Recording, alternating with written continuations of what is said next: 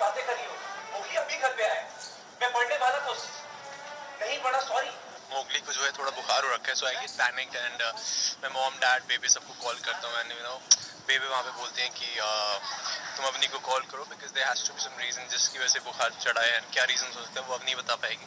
And we all get panic थोड़ा सा क्योंकि मोगली के खाने में किसी ने गलती से अमचूर डाल दिया था और उसी वजह से मोगली को चढ़ गया तेज बुखार। लेकिन अमचूर पाउडर से किसी को बुखार भी आ सकता है। ये नज़ारा तो हमने पहली बार देखा है।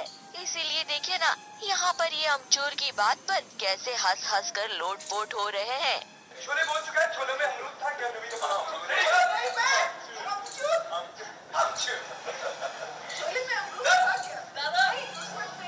खैर इस रोने वाले सीन के बीच अमचूर की वजह से ही सही। सबके चेहरों पर हँसी तो आई क्योंकि ऑन स्क्रीन अवनी के पास अब सिर्फ़ रोना ही बचा है क्योंकि इन्हीं आंसुओं के साथ अवनी ने नील को अपना बेटा सौंप दिया है।